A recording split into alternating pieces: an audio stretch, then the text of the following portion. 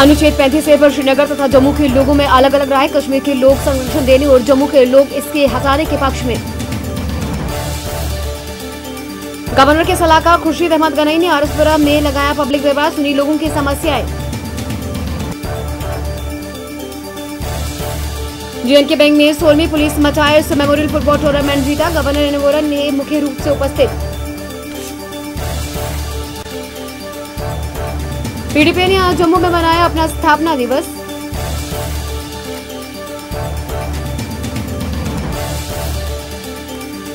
Bus stand को Narwal shift किए जाने पर स्थानीय दुकानदारों का रोष।